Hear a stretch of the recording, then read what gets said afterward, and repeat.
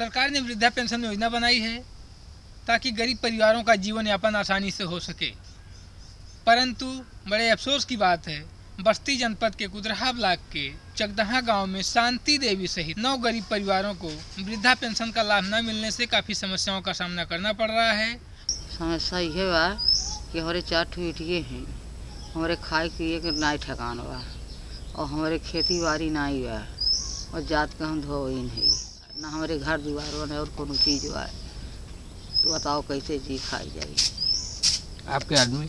हमारा आदमी मरी है कितना दिन भर दुई साल है ये पेंशन बनावे नहीं अपन नाई बनावा हमरा क्यों किनसे नाई दिए? बा तो पेंशन बनाओ खर्ची फार्म और जमा की नहीं जमा किए रहे? जमा किए रहन तो का है देवन किन का करी तो कितना दिन भर दुई साल तो हो ही गया तो। कोनो आगे कार्रवाई की कि अपन पेंशन बने तो किए रहन ना क्यों किस तो का करी? जो कुल हर हथकड़ा बना के दे दिए रहन नाई क्यों दी से नाई किए और न हमारे पर हमारा नाई बा कि हम हमार की परवा की दौड़ी धूपी नाई और कौनो चीज़ करी।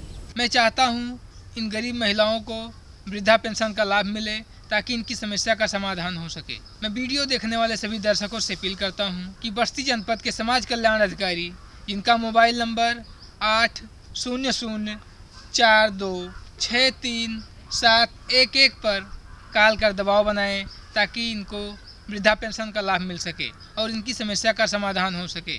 मैं विनय कुमार, जिला बस्ती, उत्तर प्रदेश इंडियन हर्ड के लिए।